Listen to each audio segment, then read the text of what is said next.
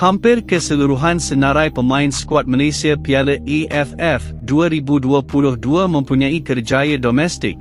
Hanya ada seorang pemain yang kariernya di luar Malaysia, lebih tepat di Thailand.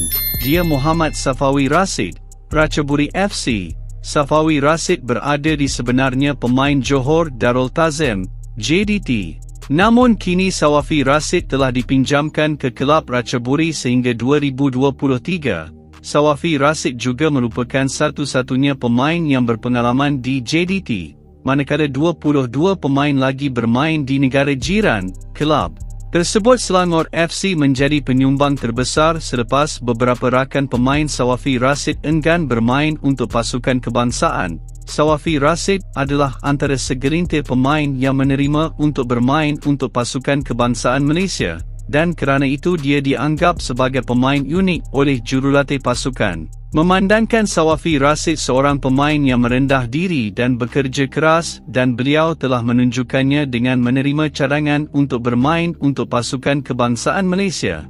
Sawafi Rasid akan membuat banyak perubahan dalam pasukan dan akan menunjukkan segala kualiti dan komitmen beliau.